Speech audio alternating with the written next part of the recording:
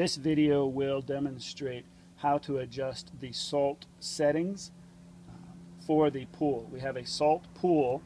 This is the salt cell and it runs on percentages.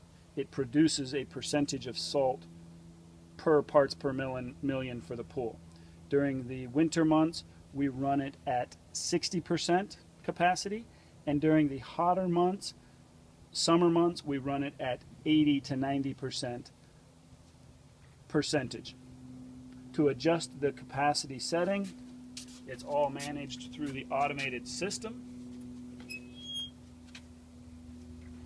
To do to adjust it, again, we use the menu button to get to that setting, and we click it until we get to the settings menu. Using the right arrow, we enter the chlorinate menu. It, first it goes to super chlorinate, then to the pool chlorinator. Currently it says 60% and it's flashing. That's because it's we're in the winter months now and I've already changed it to the 60% setting. So next March, April time frame when it the temperature is consistently over 80 degrees and you begin swimming in the pool, you're going to want to adjust it to 80%. To do so when it's at 60%, you use the plus arrow to adjust the percentage up to 80% and click menu to set it.